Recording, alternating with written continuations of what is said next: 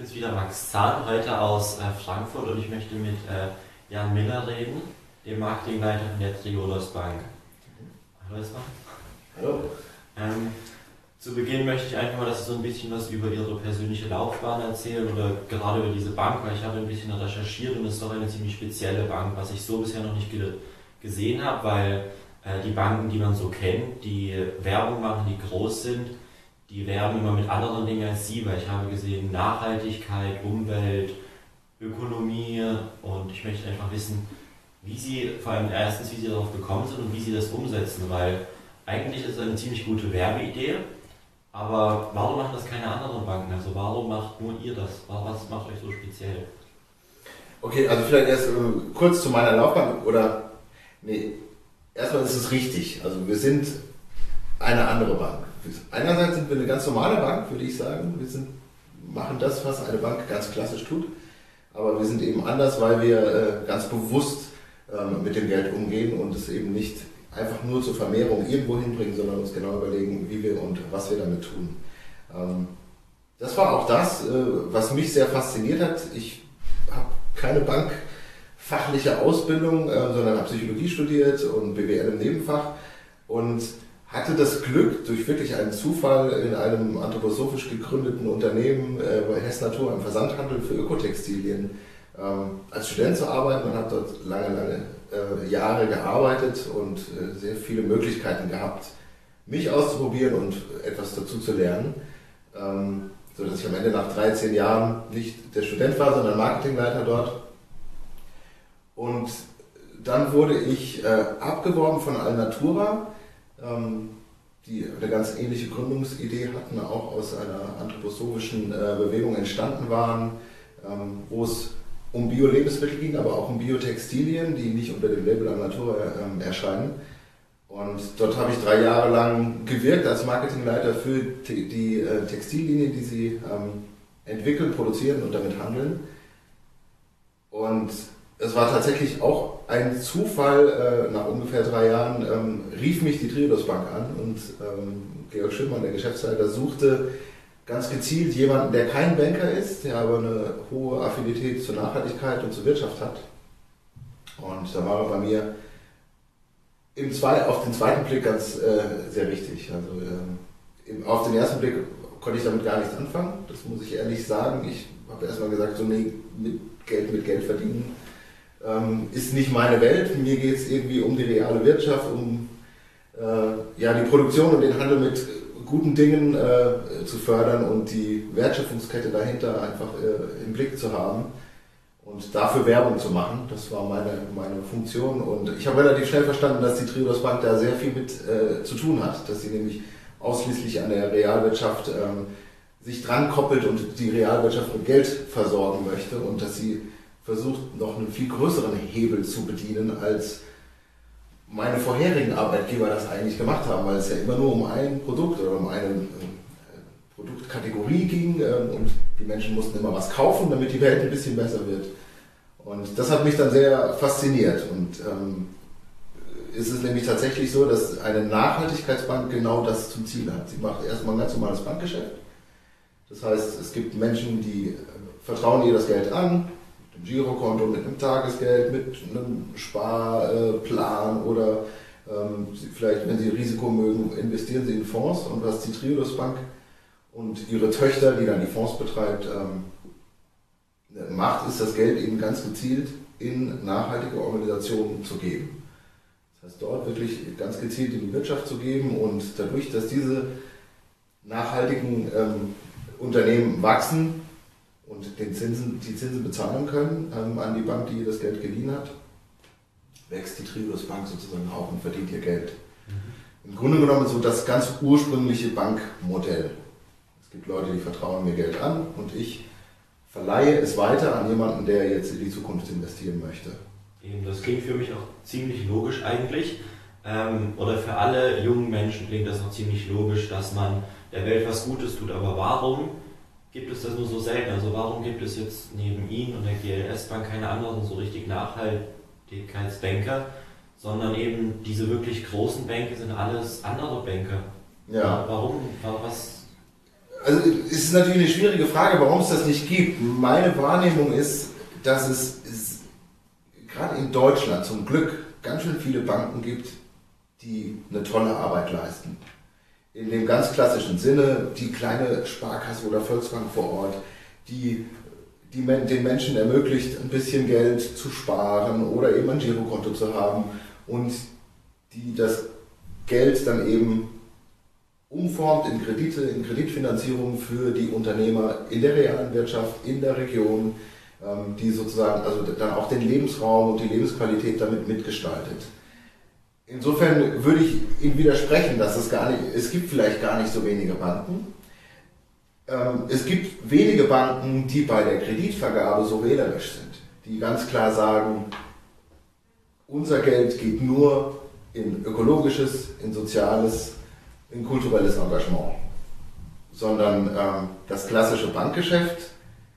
Und so habe ich das auch empfunden, als ich noch gar nichts mit Banken zu tun habe. Da geht es immer nur darum, wie viel Risiko äh, nehme ich oder äh, bin ich bereit in Kauf zu nehmen und wie viel Rendite oder wie viel Zins kriege ich dafür. Also je mehr Risiko ich übernehme, umso mehr Geld kann ich dran verdienen. Das heißt, äh, die, die klassische Bankwirtschaft hat sich immer nur auf diesen zwei Dimensionen eigentlich gemessen.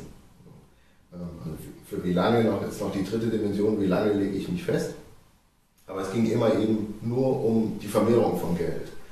Und das, was die Nachhaltigkeitsbanken unterscheidet, ist, dass wir noch, wenn man die Zeit noch nimmt, eine vierte Dimension ähm, hinzufügt und nämlich, was macht denn das Geld? Das heißt, wie wirkt das Geld? Was, äh, wenn ich ein Unternehmen finanziere, das kann im klassischen Banksinne ganz, ganz rentabel sein für alle, für die, die das Geld äh, der Bank anvertraut haben, für die Bank selber.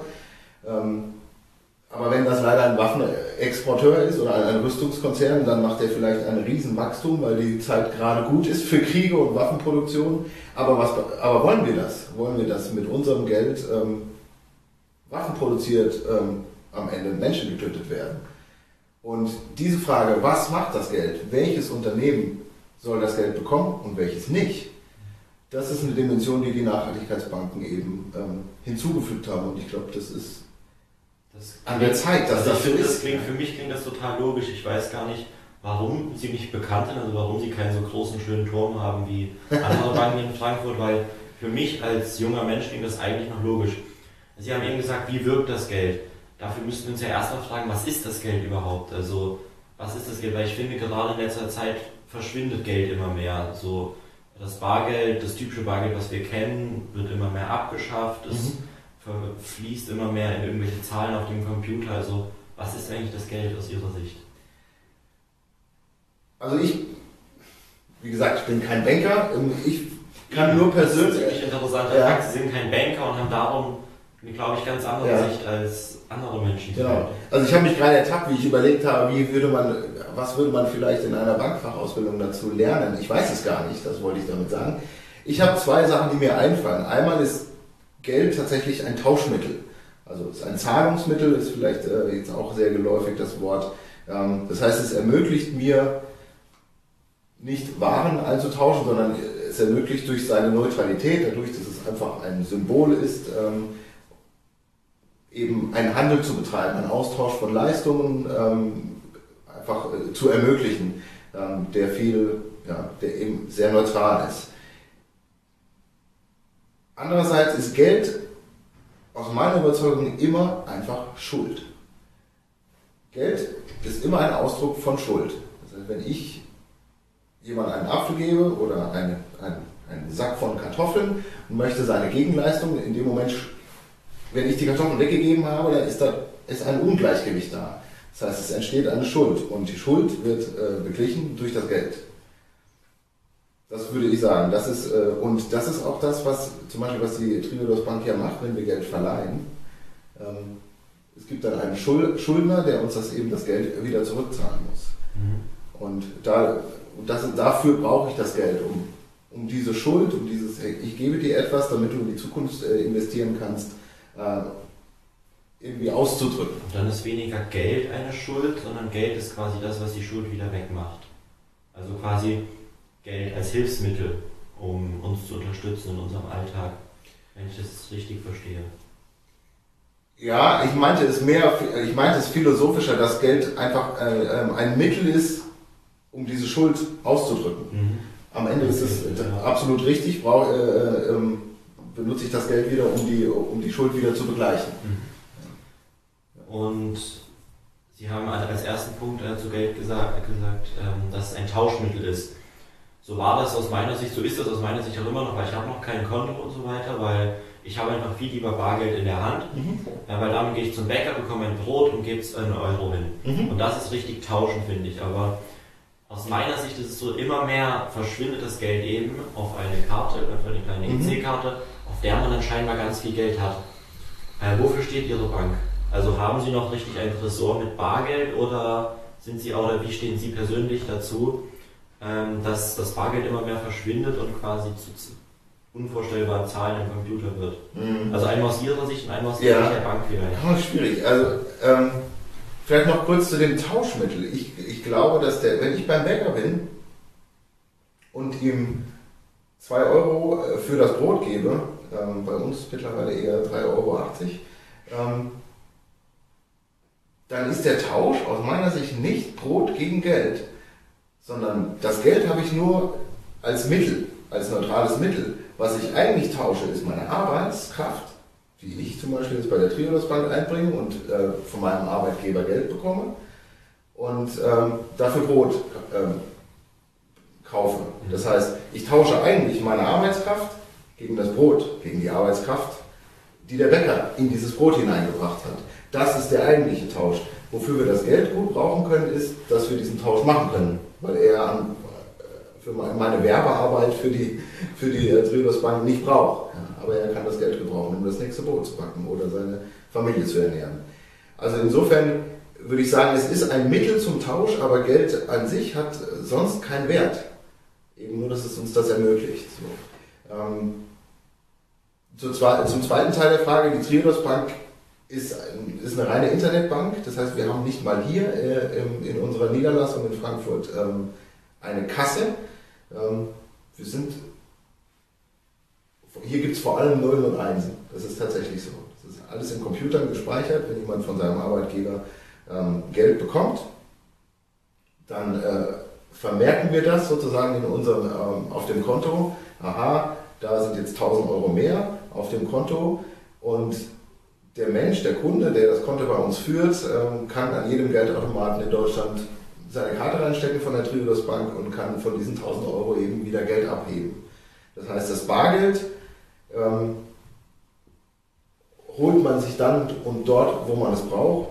Heutzutage zahlen die meisten, viele Menschen ja auch äh, schon dann auch digital, dass man einfach noch mit im Internet äh, mit einer Kreditkarte oder eben an der Kasse mit der EC-Karte, mit der, mit der Girokarte bezahlt. Insofern ähm, meine Sicht darauf ist, ich finde Bargeld wichtig aus ganz anderen Gründen, weil es äh, eine Freiheit für die Menschen ist, äh, überhaupt gar nicht überwacht zu sein. Äh, das finde ich, ich glaube, das ist kulturell sehr wichtig. Da sind wir als Gesellschaft noch nicht so weit, damit umzugehen und äh, auch die Unternehmen sind noch nicht so weit. Äh, aber, wieso, noch nicht, wieso noch nicht so weit? Früher war es doch noch so. Das heißt, es entwickelt sich ja eher so dahin, dass es immer digitaler wird, das Bargeld. Genau, und ich also das wollte ich sagen, ich finde das, ich finde das nicht schlimm, dass es digital ist.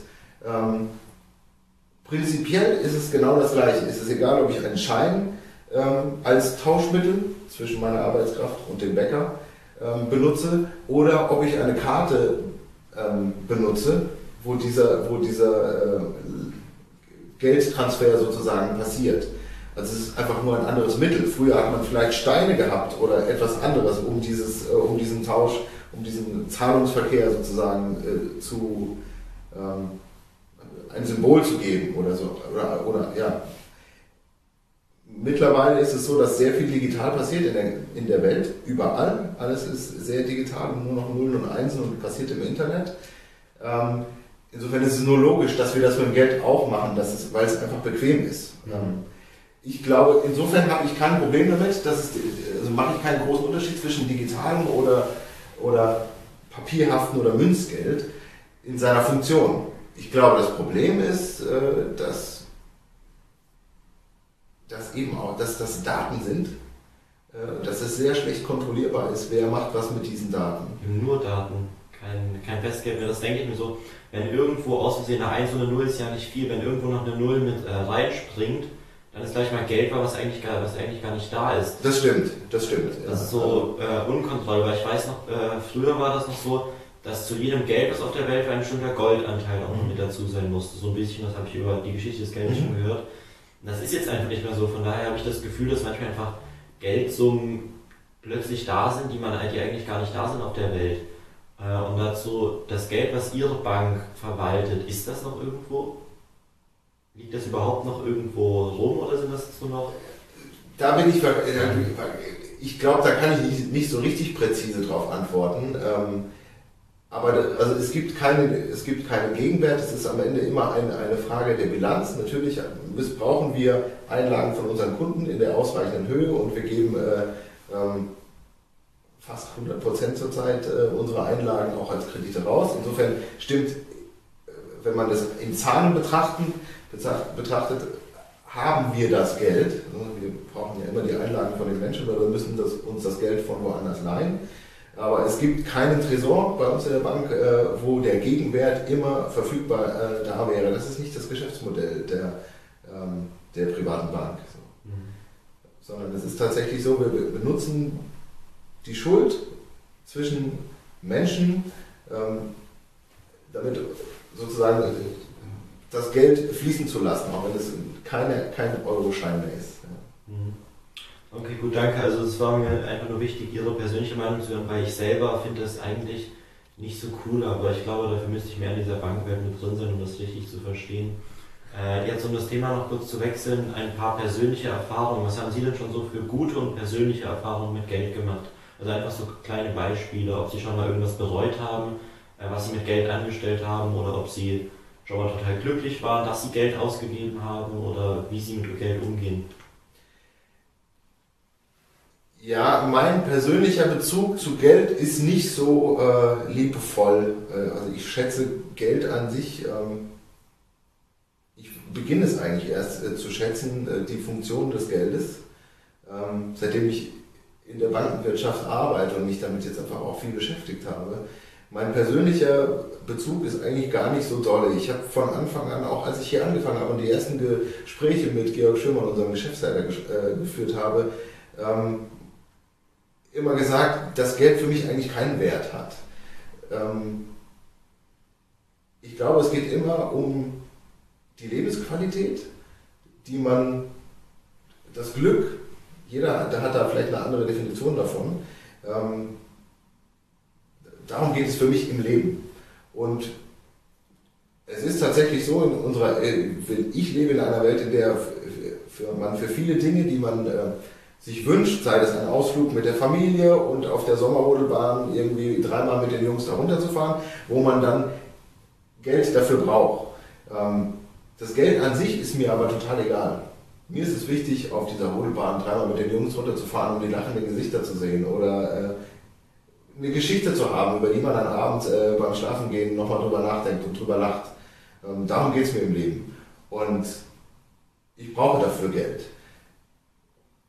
Ich habe also ich gerade so drüber nachgedacht, ob es vielleicht irgendeine große Anschaffung war oder sowas, wo ich wirklich so glücklich war, Geld auszugeben. Aber das, das ist nicht so. Bei mir sind also mein Bezug sind wirklich Erlebnisse in meinem Leben äh, und die wirklich glücklichen Momente, die haben nie was mit Geld zu tun. Also, ich glaube, dann kann ich meine, nächste, meine nächste Frage schon so gut wie sparen, weil ich frage mich nicht oft, macht Geld überhaupt glücklich? Weil es wird zwar und es wird uns immer so suggeriert, wenn du Millionär bist, bist du irgendwie glücklich, weil du hast viel Geld und du kannst dir was Cooles kaufen. Aber es ist, ich glaube ja nicht, dass so das Geld ist, was wirklich glücklich macht. Hm. Meinen Sie? Ich, ich bin ganz fest davon überzeugt, dass es es nicht tut.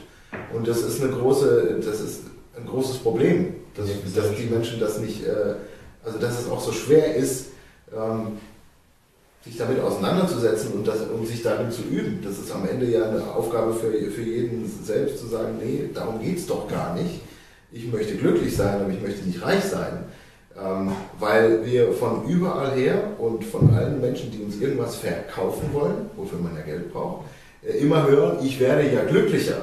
wenn ich das besitze, wenn ich so aussehe, wenn ich meinen Körper verändere, ähm, damit er noch schöner ist. Das ist alles totaler Käse. Was glücklich macht, sind Beziehungen und Erlebnisse. Ähm, ich glaube, wir brauchen ein gewisses Maß an, an Handlungsspielraum und dafür braucht man schon Geld. Das, was auch, was Menschen zum Beispiel mit dem Grundeinkommen ganz oft diskutieren. Nicht. Natürlich brauche ich eine gewisse Sicherung, eine Sicherheit, dass meine Existenz gesichert ist. Sonst kann ich mich nicht entfalten und nach dem Glück suchen. Mhm. Gut, äh, danke sehr. Und jetzt will ich noch äh, zum Abschluss ein bisschen über Schule sprechen. Weil es ist so, ich bin jetzt in der 10. Klasse und ich habe auch noch zwei Jahre, dann habe ich mein Abitur, jetzt ja noch 13 Jahre, glaube ich. Ich glaube, ja, ja, wieder. Ja, ja genau, na, wir haben nur, nur 12. Ähm, und danach bin ich quasi schon im Leben. Aber das Ding ist, ich weiß fast noch nichts über mein späteres Leben. Ich weiß, was ich machen will, aber gerade was Geld angeht, wird uns in der Schule fast nichts beigebracht. Und darum will ich Sie fragen, ob Sie irgendwelche Grundlagen äh, zum Geld mir sagen könnten, ne? damit ich so ein bisschen weiß, wie ich klarkomme. Also wie das Geld so ein bisschen funktioniert oder, na gut, das, das hat mir schon, aber ich weiß nicht, wie ich das am besten ausdrücken soll, äh, wie ich halt später klarkomme im Leben mhm. mit dem Geld. Ich weiß, dass ich Geld verdienen werde, aber zum Beispiel so Sachen wie Steuererklärung. Meine Mutter sagt es mir so und ich finde mich damit ab, aber mhm. ich weiß nichts damit anzufangen. Also so irgendwie eine Grundlage oder was man Schülern in der Schule am besten beibringen sollte, weil da lerne ich einfach nichts dazu. Mhm. Irgendwelche so bestimmten Themen, die uns helfen könnten. Ja, spannende Frage. Ähm, Steuererklärung ist nicht meine Welt. Da habe ich auch eine kleine Software für 30 Euro, die mir, äh, die mir einfach erklärt, was ich tun soll. Und ich, äh, äh, mich interessiert das eigentlich auch nicht, äh, weil ich es viel zu kompliziert finde. Ich dieses Wissen nicht haben möchte im Detail. Aber ähm, ich glaube, es ist wichtig, eine Beziehung zu Geld äh, oder ein Verständnis von Geld zu entwickeln. Eigentlich geht es nicht ums Geld, sondern es geht ums Wirtschaften aus meiner Sicht ich brauche als Mensch, wie eben schon gesagt, ähm, man braucht ein gewisses Maß an, ähm, an Komfort, um in, die, in der Welt, in der wir leben zumindest, vielleicht muss ich es anders anfangen. Ähm, es geht darum, ich brauche, eine, ich brauche eine Bleibe, wo ich wohne, einen warmen, einen warmen Platz, wo ich äh, schlafen kann. Ich brauche was, essen, äh, was zu essen und zu trinken, äh, vielleicht und Bekleidung. Also ich brauche ein paar grundsätzliche Dinge. Ähm, was meine Aufgabe, was glaube ich die Aufgabe ist, wenn man ins Leben alleine, ähm, also in das völlig selbstverantwortete Leben ähm, übergeht, dass man lernt, was braucht, dass man sich die Frage stellt und das herausfindet und auch damit auch ein bisschen experimentiert, was brauche ich denn überhaupt? Was ist mir wirklich wichtig? Und dann zu üben, wie viel Geld brauche ich denn dafür? Um das zu bekommen.